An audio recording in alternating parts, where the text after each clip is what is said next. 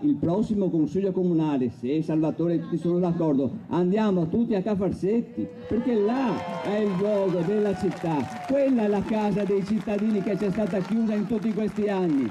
La mozione delle opposizioni sulla sanità pubblica è stata depositata e l'obiettivo è portarla in discussione in Consiglio Comunale alla presenza dei cittadini. Come annunciato nella manifestazione promossa dal Movimento per la difesa della sanità pubblica veneziana e dall'Associazione Amici del Giustinian e preceduta da una petizione che ha raccolto 9.000 firme, il Movimento per salvare il Giustinian si sposta a Cafarsetti. Il silenzio è assordante continuiamo a chiedere commissioni sul tema e non ci vengono date, non ci vengono offerte occasioni di dialogo e quindi l'unica soluzione è quella di eh, chiamare a raccolta i cittadini. L'appuntamento è per il pomeriggio di giovedì 25. Per evitare sovrapposizioni, il gruppo Insieme, che raccoglie 39 associazioni della Voga e della Vela, con migliaia di iscritti tra Venezia e Mestre, ha quindi deciso di cambiare l'orario dell'assemblea pubblica contro il moto ondoso alla pescheria di Rialto. Abbiamo deciso di posticipare alle 18.30 l'appuntamento di giovedì 25 maggio in pescheria per l'assemblea pubblica sul tema del moto ondoso.